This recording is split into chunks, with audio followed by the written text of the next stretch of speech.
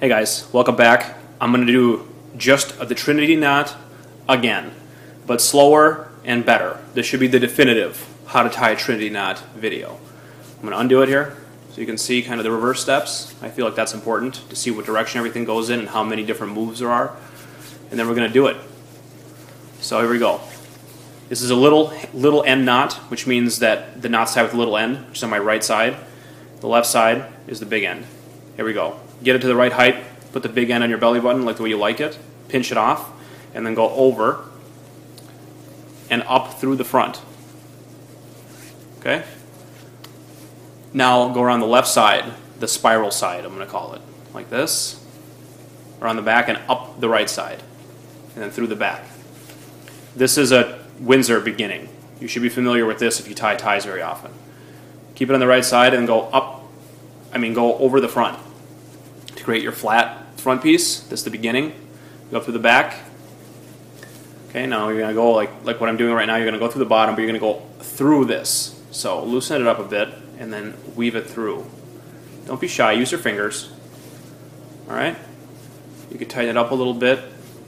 And now you're going to go around the back like this, and you're going to go through here and up toward this direction. So come get this with your hand, loosen it up a little bit, and then stick that through. Use your fingers to kind of weave, pull it out. I like to keep it loose. I like a loose Trinity. I think it looks great, but you can also tighten it. Then it makes it a lot tighter and smaller. I like it big because it's easier to see. It's, you know, look at that. Perfect. Now I'm going to come back and do it with the stripe tie, see if we can work some magic. S stick around. Okay, ready? I got this stripe tie. I'm not saying this outfit matches, although it's actually not so bad. I really want just the element of the stripes to happen. So let's try again. Once again, little end here on my side. Pinch off your, your, your, your size nicely. Up through the back and spiral side to the left. Through the back and up the right side. Right side across the middle, the back. And now we're going to do our first weave. We're going through here. So we're going to go through the middle. Now right now, don't worry about getting the stripes to work right now because it's too early. Keep it very loose though. So very loose here. I'm going to go around the back and come up through the very last loop. Okay, now you can see now it's time to tighten everything. So you pull on the top to tighten the bottom. Okay, you pull on the back of this to tighten the top, and then you pull on this to tighten that side.